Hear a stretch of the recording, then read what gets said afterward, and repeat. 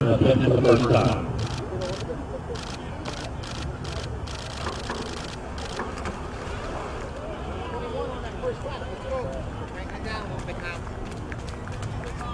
Here we go, as they settle in. Have Penn Taylor Samuels fourth in that women's 200.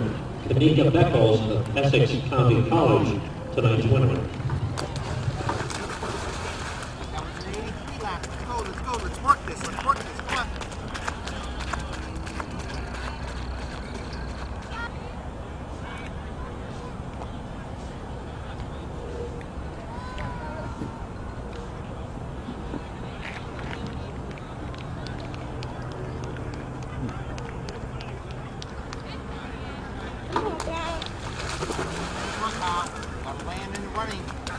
That was an 82 lap. 82.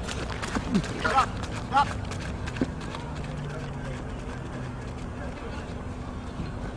First call, women's javelin.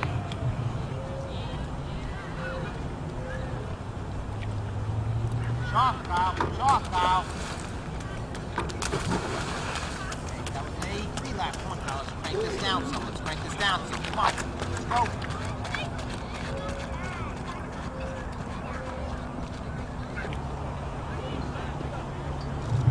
Kyle Red back up. That water pit, by the way, 12 feet 9 inches long, and can be no longer than, no deeper than 2 feet 6 inches. Of course, the water temperature depends on the wind. So, uh, pretty pleasant evening this evening, but still 2.5 feet uh, deep.